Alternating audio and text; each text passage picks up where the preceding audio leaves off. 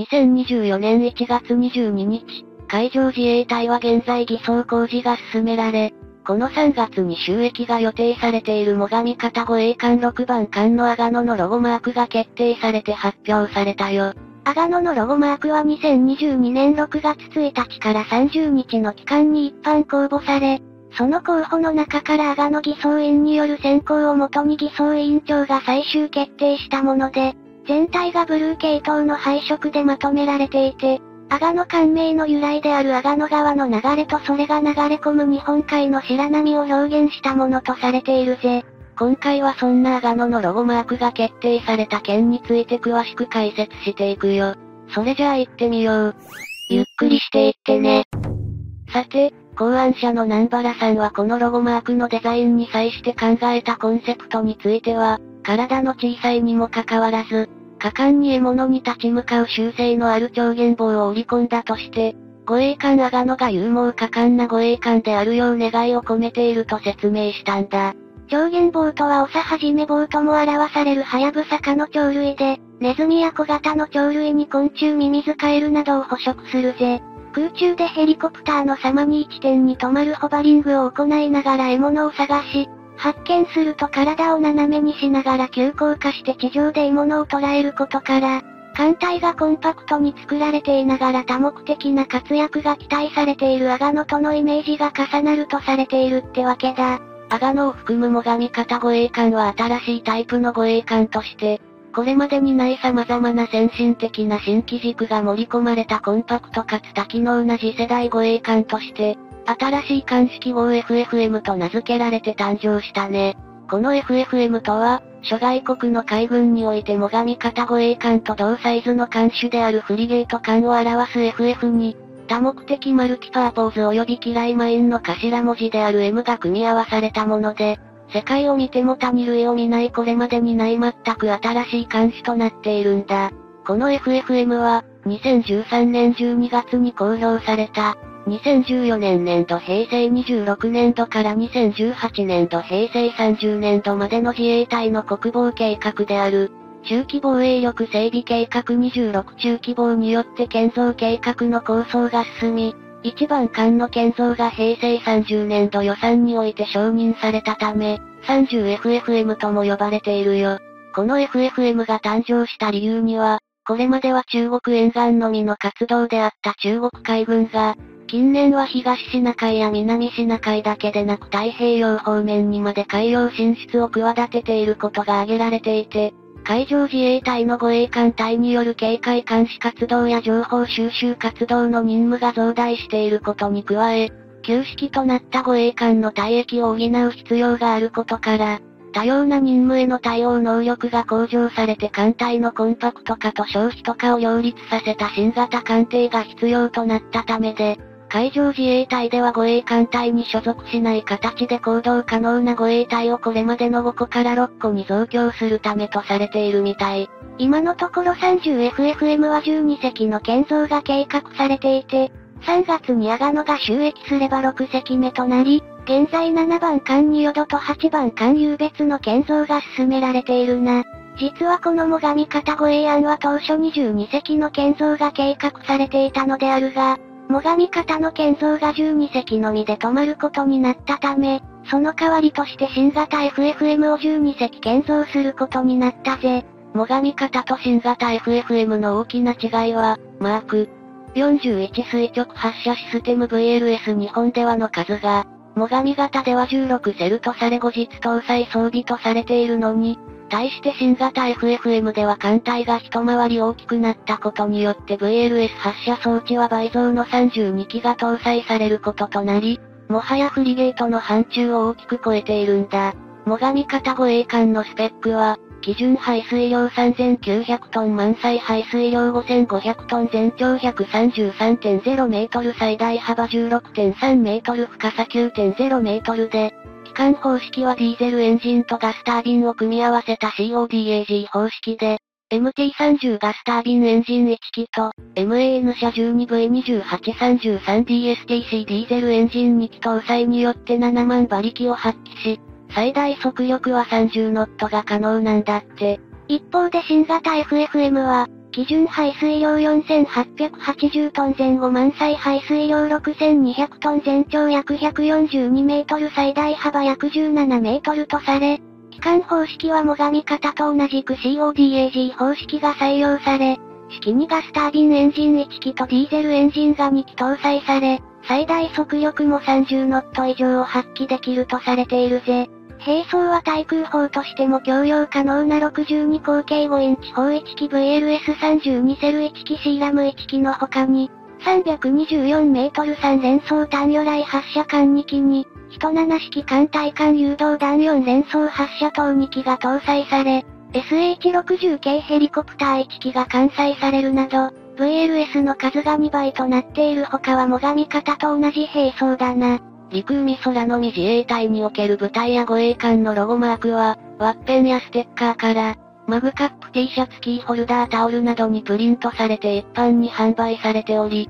様々なネット通販では人気ランキングなども発表されているね。それらの中で人気が高いのは空母化改装が進められていて話題になることが多い出雲型護衛艦の出雲や加賀がダントツで、次いで8隻のイージス艦や総流型及び大芸型通常動力潜水艦、そして最新鋭フリゲート艦の最上型の各艦に人気が集まっているとされているんだ。護衛艦出雲のロゴマークは、出雲神話で大和武の御事が大和のオロチを退治した時に、大蛇の体内から発見されたと伝えられる天の村雲の剣、別名を、草薙の剣と、大和のオロチがデザインされているよ。これは圧倒的な力を抑え込むさらなる強力な存在というイメージを表現しているとされ、隠し要素として円形に書かれている赤い山田のオロチは日の丸のイメージも盛り込んであるというな。また護衛艦香川艦名の由来となった加賀藩石川県の名産品である金箔と、染め物で有名な加賀友禅の文様をイメージとして日本的な華やかなデザインとなっているぜ。黒字の背景に四季の花々梅桜ボタン気境コスモスと海鳥が飛び立つヘリコプターのイメージで書かれていて、四季花々の花言葉は忠実、優れた教育、思いやり、誠実、調和とされ、これらが自衛官の心構えとして表現されているらしい。海上自衛隊では護衛艦や潜水艦のロゴマークを公募することが通例となっていて、護衛艦の偽装工事中にロゴマークの公募が発表されて、その応募作品を収益後に乗組員となる偽装員が先行して、艦長となる偽装委員長が決定するパターンが多いんだ。また、ロゴマークは円形のものが多い中で、四角形や輪郭のないものなど様々あり、最上方護衛艦3番艦の野城のロゴマークは、最上護衛艦では乗組員に対してクルー製が導入される予定となっていて、野城のロゴマークはチームの意味が込められたエンブレム型となっているよ。ちなみにこのクルーセイトは、平成31年度2019年度の30大項に基づいて、最上方護衛艦において導入が予定されている制度で、防衛省によると3隻の最上方護衛艦に対して4組の上組クルーを配備し、3組が常時上艦してその間残りの1組を休養や地上訓練に充てることで、艦船の検査修理期間以外に港に停泊している期間を短縮して、全艦艇の運用効率を向上させることを目的としているぜ。乗組員の統率が困難となる可能性があることや、三艦各艦の偽装上の細かい差などがある場合では、艦艇の全力を発揮することが可能な状態を維持できるかどうかについて疑問視されている一方で、常に艦艇を稼働状態に置くことが可能となるため、稼働席数を確保するという観点からは有効であろうと評価されているな。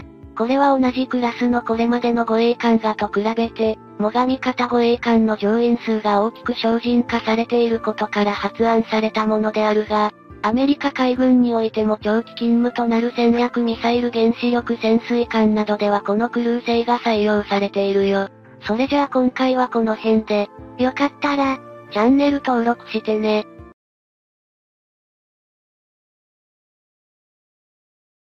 2022年12月に時の日本の岸田政権は安全保障関連の3文書と言われる、国家安全保障戦略国家防衛戦略防衛力整備計画の3つを改定の上で閣議決定し、2023年度の防衛予算からその大幅な増額を実現させたね。これは岸田政権が発足時より掲げてきた日本の防衛力の強化を、その公約通りに政治的に進めた形ではあるが、2022年に正規したロシアによるウクライナ侵攻がその動きを、くしくも後押したと見る向きが多いな。国民からすれば増税を重ねられることになるわけだから、苦しい生活になってしまうかもしれないね。さて今回は、日本の防衛上で主戦力と目される22隻の潜水艦隊について詳しく解説していくよ。それじゃあ行ってみよう。ゆっくりしていってね。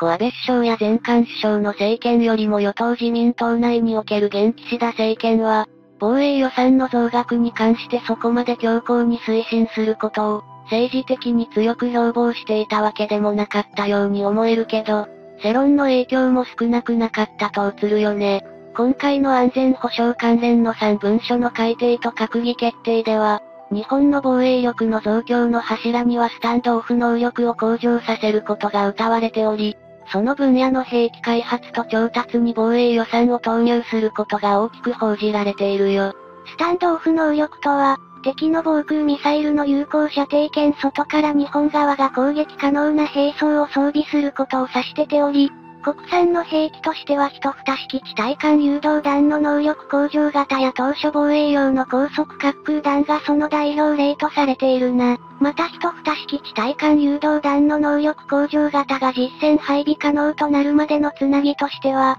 アメリカからトマホーク巡航ミサイルを調達して水上戦闘艦に搭載する方向が打ち出されており、遠距離からの対地対艦攻撃能力の獲得が施行されているぜ。いずれにせよ周囲を世界で6番目の面積を有する広い領海に囲まれた日本では、その防衛力の中核はやはり海上自衛隊の存在によるところが多く、2019年度以降の最後の中期防衛力整備計画で打ち出された体制の構築を急いでいるってわけだ。ここで示されている海上自衛隊の主戦力の体制は、護衛艦54隻、潜水艦22隻、哨戒艦12隻、作戦用航空機190機であり、それらの中でも潜水艦は日本の防衛における最も重要な戦力であると言ってよいだろうね。1945年8月にアメリカを中心とする連合国との太平洋戦争に敗戦を喫し、一時は潜水艦の保有を禁じられていた日本は、1954年に海上自衛隊の発足が行われたことで、再び潜水艦を保有運用する体制を取り戻したんだ。ただしこの時点では潜水艦の建造は太平洋戦争の敗戦によって禁じられていたことから、アメリカ海軍の通常動力型の攻撃型潜水艦である加藤級の民号貸与され、これを1955年から黒潮として運用、再開を果たしたぜ。この黒潮は海上自衛隊に貸与された後、現三菱重工業者の神戸造船所で環境等の改修工事を行い1966年まで収益。これと並行して川崎重工業者の神戸工場で1957年には戦後初の国産潜水艦である親潮が寄港されるよ。そして3年後の1960年にはこれに続く国産の林潮型2隻が寄港され、同艦はそれぞれ現三菱重工業者の神戸造船所と川崎重工業者の神戸工場で建造が行われ、今に続くこの両者による国産潜水艦の建造体制が構築されたんだ。今年2023年3月時点における海上自衛隊の潜水艦戦力は、古い方から親潮型が8隻、総流型が12隻、大芸型が2隻の22隻の実戦配備となっており、これとは別に2隻の親潮型が練習用の潜水艦として残されているね。海上自衛隊の潜水艦の数が現行の22隻体制となったのは2011年度の防衛計画の対抗からで、それまでは16隻体制であり、基本毎年1隻ずつの心臓艦を現三菱重工業者の神戸造船所と川崎重工業者の神戸工場が交互に収益させてきたってわけ。16隻体制から現行の22隻体制へと6隻の潜水艦の実戦配備数の増加が行われたことで、それまでは16年プラス練習艦としての数年で退役を迎えていた形が、22年プラス練習艦としての年数に引き上げられた状況だね。今の22年プラス練習艦としての年数という海上自衛隊の潜水艦の収益期間は、他国海軍の潜水艦が少なくとも30年以上は使用されていることが常であることからは贅沢な運用とも思えるが、それだけ海上自衛隊が潜水艦を重視していることの証でもあるな。また現三菱重工業者の神戸造船所と川崎重工業者の神戸工場が交互に2年で1隻を収益させる状態を維持していることで、そんな中で築かれてきた海上自衛隊の潜水艦22隻体制だけど、これを実現させたのは昨年2022年3月からであり、最新鋭の体芸型のネームシップであり一番艦たる体芸が収益したことで確立されたものなんだ。海上自衛隊の潜水艦として最新鋭である体芸型は、今年2023年3月に2番艦の白芸も収益を迎え、同級は最終的に何隻が建造されるのかは不明であるが、今年5月には6番艦の機構がすでに行われているよ。現状で最も旧式の親潮型が2023年時点で未だ8隻が実戦配備中であることを踏まえれば、その全てを代替するために体芸型は、少なくとも全10隻は建造されるのではないかと、推察されているね。体芸型は全長が84.0メートル、全幅が9.1メートル、深さが10.4メートル、基準排水量が3000トン、水中排水量が推定で4300トンと目されており、前級である総流型を踏襲し、若干排水量が大型化したと考えられているみたい。また体芸型はこちらも公表されていないため全てが推定値ではあるが、水中での最大出力は6000馬力で、最大速度は水上で13ノット、水中で18ノット以上と見られ、機関構成を同じくする総流型の最終の2隻とほぼ同等の性能だと推察されるぜ。海上自衛隊の潜水艦は現行の親潮型、総流型、体芸型ともにその先行深度はいずれも機密として明かされてはいないが、装備や建造に使用されて材質等の観点から、およその数値が推察されているからな。まずそうした中で最大値として推察されているのが、先行深度1000メートルとするもので、これはそういう方が船体に使用してる特殊鋼材 NS110 が物理的な計算上からはその数値まで頼ることが判明しているゆえだね。ついで先行振動900メートルと推察する見方もあり、これはそういう型が搭載する主兵装である89式超魚雷の性能が、水深900メートルに及ぶことからそれと同等ではないかという点から主張されている説だよ。ただこうした説はあくまでも特殊鋼材 NS110 の耐圧性能や、89式超魚雷の性能をもとに可能性として言及されているもので、潜水艦の本体自体はそこまで実際に到達しているとみなす見方は一般的ではないぜ。少し古い話で恐縮ではあるが、現在の日本の最大の仮想敵国である中国では2017年に総流型の先行振動通常で500メートル、最大で600メートルほどと予想する記事がインターネット上で確認されたな。中国側のこの記事によれば特殊鋼材 NS110 の耐圧性能の最大値は踏まえつつも、そういう型の潜水艦としての大きさや規模を踏まて現実的な推察を行ったと考えられ、個人的にはこれはいい線をついているように感じるぜ。しかしそういう型以降の日本の潜水艦が仮にこうした仮想敵国である中国側の見立て通りの先行振動を有してると仮定しても、対中国艦艇との対峙が予期される東シナ海は水深はおよそ200メートルほどと非常に浅いんだ。よってそうした水深の浅い海域に日本の潜水艦が進出して作戦行動を行うことは非常な危険を伴うために考えにくく、もっと水深の深い海域に潜んで、先進度にも対応可能と言われている新型の人8式超魚雷を活用する運用となるんじゃないかな。それじゃあ今回はこの辺で、よかったら、チャンネル登録してね。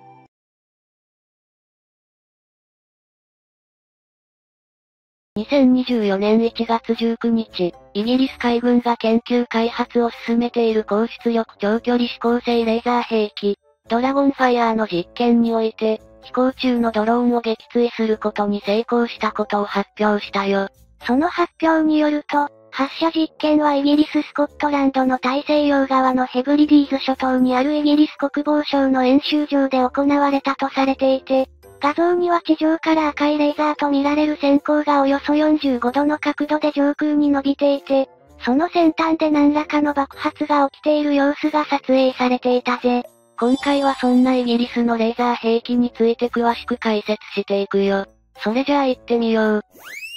ゆっくりしていってね。ドラゴンファイアはイギリスのレオナルド UK によって開発が行われていて、同社はレーザーターゲティングシステムレーザー目標指示装置、などの高エネルギーの軍用レーザーの国際市場の約60%を占めており、同社が開発を進めているドラゴンファイアは、目標をピンポイントに捉える精度が高いとされ、照射されるレーザーの出力は最大で 50kW というよ。イギリス国防省では2022年11月20日にイギリス南部のポートダウンにある同省の国防科学技術研究所において、10月28日にイギリスで初めて高出力長距離レーザー指向エネルギー兵器 LDEW の発射実験を実施したことを明らかにし、その実験において2.1マイル約 3.38km 以内の距離から、航空機やミサイルの迎撃を想定した様々な金属材料で構成された、ドローンなどの空中にあるターゲットに対し、ドラゴンファイアによって高出力レーザービームを照射したんだ。その結果ドローンは炎上し、様々な素材で構成された装甲を誘拐させることに成功して、ドラゴンファイアが航空機やミサイル、砲弾などの迎撃に有効であることを証明したとして、さらに注目すべきこととしてこれまではレーザーの威力が減衰するとされていた。雨天においても大幅な減衰は確認されず、迎撃に成功したとしているね。この実験成功の結果を受けて、国防科学技術研究所テクニカルパートナーのベン・マディソン氏は、今回の実験は、レーザー兵器の性能を表すものであり、その結果はイギリスが指向性レーザーエネルギー兵器システムに関連する、技術において世界をリードする能力を持っていることを示したとした上で、レーザー兵器は、イギリス軍が受ける様々な脅威から兵士を守るための新しい戦力になる可能性がありと述べたぜ。イギリス国防省はこのレーザー兵器の開発においてこれまでに、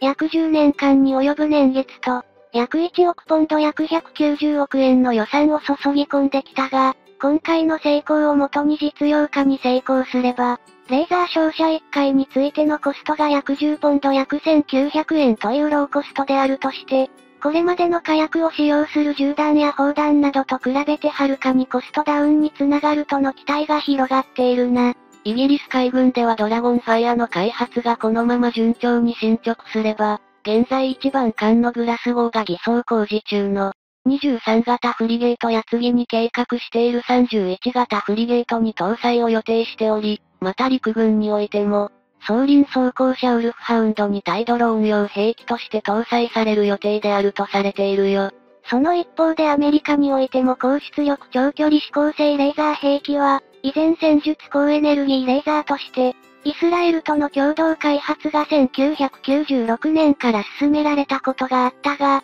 2005年に装置が大型すぎることに対して小型化ができず、コストがかかる割に実戦での効果が期待できないことを理由に開発が中止されていたぜ。しかし、アメリカのレイセオン社では開発が続けられていて、2010年7月19日にイギリスのファーンボローで開催された、国際航空ショーにおいて、軍艦上に設置された同社のレーザー兵器が、目標を追尾するレーダーシステムと連動して誘導されながら、約3.2キロ先を時速480キロで飛行する標的としてのドローン4機を出力32キロワットの高エネルギーレーザーによって、破壊されるというデモンストレーションが実施され、これらのドローンは数秒で焼き払われたらしい。このレイセオン社のレーザー兵器はレーザー設備6機からなり、強力な高エネルギーレーザービームを合成させることで、威力を高めているとされ、アメリカ海軍の艦艇に搭載されている艦艇用近接防御火器システム CIWS ファランクスと連携しつつ、